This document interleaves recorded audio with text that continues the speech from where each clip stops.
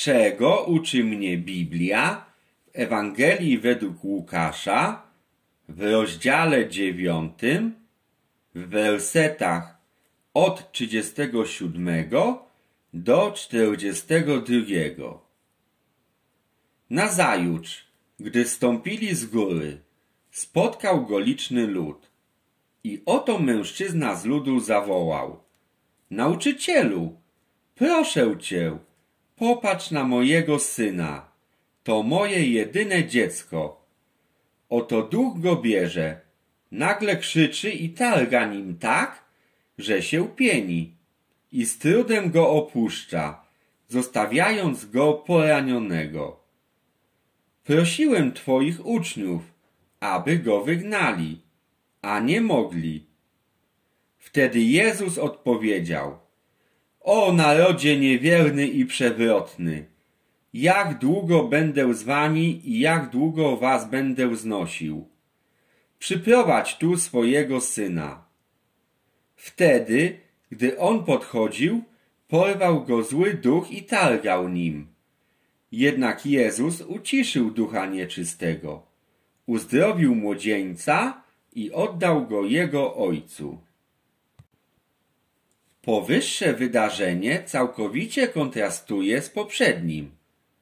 Znów jesteśmy wśród świata, który znajduje się jeszcze pod panowaniem szatana. Ale gdzie była moc i władza nad wszystkimi demonami, której udzielił Pan swoim uczniom? Werset pierwszy. Dlaczego ten młody człowiek nie mógł być uzdrowiony przez uczniów? Czy uzdrowienie jego choroby przekraczało ich możliwości? Nie! Brakowało im wiary, co bardzo zasmuciło Pana. Wkrótce przecież miał umrzeć i opuścić swoich uczniów, a taką znalazł w nich niewiarę.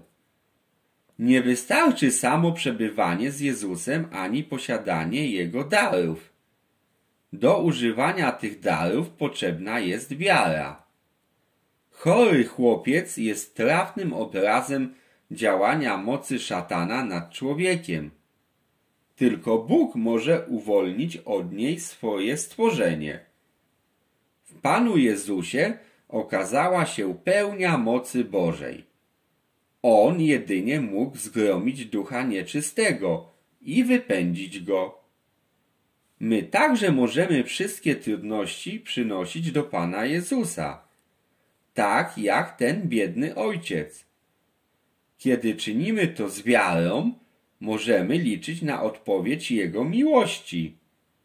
Dla wiary nie ma żadnych trudności, gdyż wiara ufa Bogu a dla niego nie ma rzeczy niemożliwych.